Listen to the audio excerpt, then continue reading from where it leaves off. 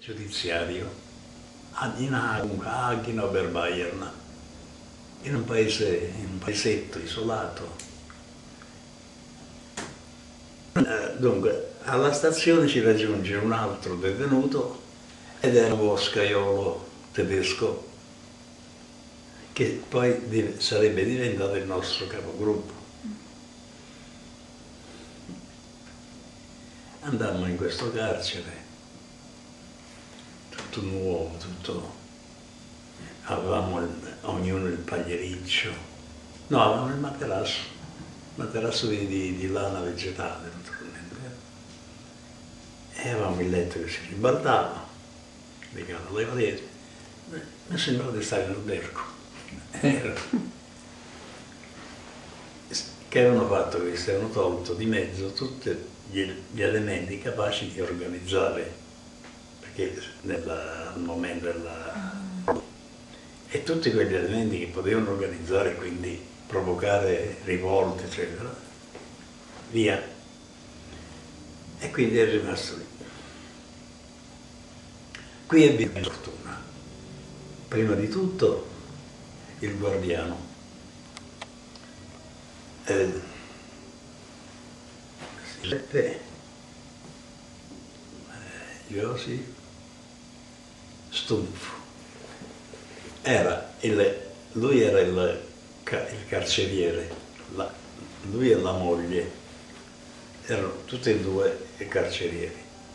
Però per il lavoro, mentre noi andavamo a lavorare fuori, c'era due donne, due carcerate tedesche che erano addette alla pulizia delle celle. Mm. Quindi eh, era una cosa.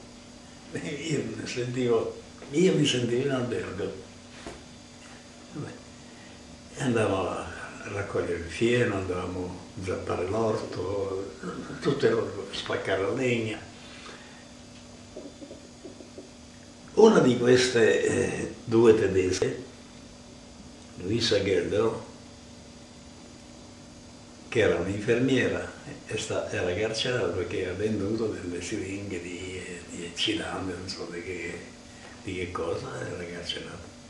E, e si era innamorata del Bruno italiano, senza denti, 35 kg di peso, io dico, che cos'era? Eh, beh, però... però ogni tanto andava, andava in cantina, perché non aveva movimento, andava in cantina, portava un uovo nascosto, lo portava il di pane, lo portava un cucchiaino di margarina di... e cominciai a riprendermi un poco.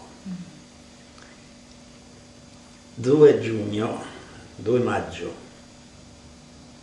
la guardia ci contava, ascoltava Radio Londra tutto quanto e ci veniva a riferire mm. questo, che aveva perso due figli e odiava il nazismo proprio mi dicevano dei francesi che la, erano stati detenuti ma che lavoravano ancora nel, nella zona, mi disse che era stato sempre così, fin dall'inizio lui era un anti, antinazista, questo vecchio.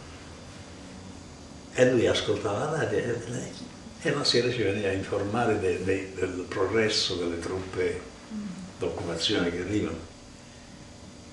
La sera del primo maggio sentiamo battere la notte verso le 11, così battere con violenza al, al portone delle carcere. La guardia che, che risponde dall'interno, però non, non apriva. Pattuglia di giovani SS, darsi faccia. Perché Himmler eh, devo, devo a questo vecchio la vita, sentì che si oppose con, con rigore a questa, a questa tenda e disse io non posso consegnarvi i detenuti finché non ho un ordine scritto del giudice, del giudice come si protettore, del giudice del, che, che sovrasta, che sovrintende al carcere. Ordine scritto, se no io non scomparvero la sera. Maggio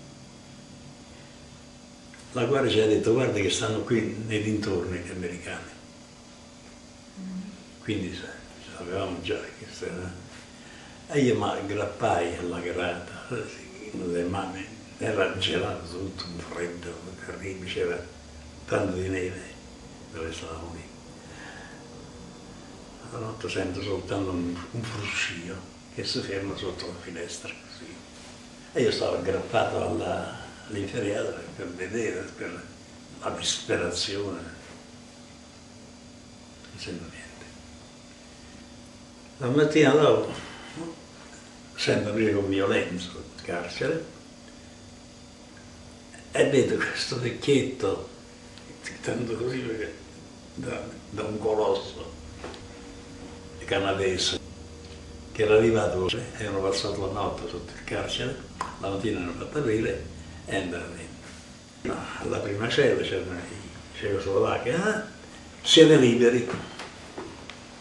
La seconda cella, altri due cecoslovacchi, siete liberi. Arriva in cella mia, tu che sei italiano, piglia la guardia, me lo buttano in braccio, mi sbatte la porta, tu resta dentro. Sta guardia, poveretto, mi fece tanta pena, a prescindere dal fatto che, eh, che era stato un uomo buono, perché dappertutto ci sono c'erano anche le persone sane.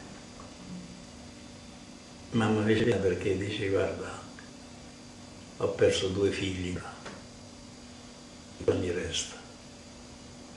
Dovrò passare il resto della mia vita in carcere perché ho fatto il guardiano, io ma non spero di no, perché non... E così, dopo allora, prese il mio nome, questo qui, e l'ho scritto su un'agendina e sono via. Quindi i cecoslovacchi liberi, le porte delle celle libere, potevano entrare e uscire quando volevano, finalmente potevano mangiare a modo loro, i pacchi che loro ricevevano regolarmente, cosa, cosa in, in, quelli, in quel bailamme, dalla, dalla Cecoslovacchia mandavano i pacchi, i pacchi arrivavano e, e venivano consegnati ai, ai, carcerati. Io mai sceso ricordare di me. Vabbè. E aprivano i pacchi, seduto ognuno sul suo letto, ognuno guardava le sue cose